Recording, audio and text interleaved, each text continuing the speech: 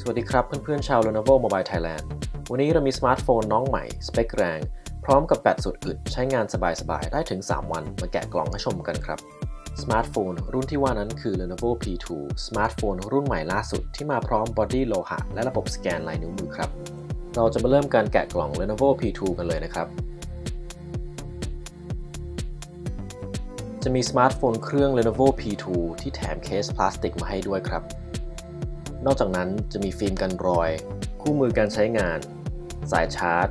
หัวชาร์จอะแดปเตอร์ micro USB และหูฟังครับ Lenovo P2 มาพร้อมกับระบบปฏิบัติการ Android Marshmallow 6.0 CPU Qualcomm Snapdragon 625 Octa-core ความเร็ว 2.0 GHz และ RAM 4 GB หน้าจอแสดงผล 5.5 นิ้ว Super AMOLED คมชัดระดับ Full HD ให้คุณดูภาพวิดีโอและเล่นเกมได้จุดใจเต็มอิ่มทุกอารมณ์ และแน่นอนครับ รุ่นนี้รองรับเทคโนโลยี 4G ให้คุณสามารถใช้งานได้ลื่นไหลไม่สะดุด พร้อมรองรับคลื่นความถี่ 850 900 1800 และ 2100 MHz ระบบ 2 ซิมแบบดูนาโนซิม และที่พิเศษไปกว่านั้นคือสามารถรองรับ 4G และ 3G ได้ทั้ง 2 ซิมเลยครับ กล้องหลัง 13 megapixel ใช้เซ็นเซอร์ภาพจาก Sony พร้อมดู LED flash และกล้องหน้าความละเอียด 5 megapixel Lenovo P2 มาพร้อมหน่วยความจำภายใน 32 GB และสามารถเพิ่ม SD card สูงสุดถึง 128 GB หมดห่วงเรื่องความจำเต็มไปได้เลย ในส่วนของแบตเตอรี่ P2 มีแบตเตอรี่ขนาดใหญ่ถึง 5,100 มิลลิแอมให้คุณใช้งานได้ยาวนานถึง 3 วัน โดยไม่ต้องพึ่ง power bank กันเลยทีเดียว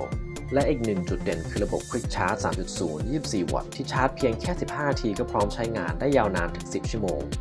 อีกทั้ง Lenovo P2 นั้นยังมีระบบ One Key Power Saver ที่จะช่วยให้สมาร์ทโฟนประหยัดพลังงานเพื่อการใช้งานที่ยาวนานยิ่งขึ้นไปอีก เพียงแค่เลื่อนสวิตช์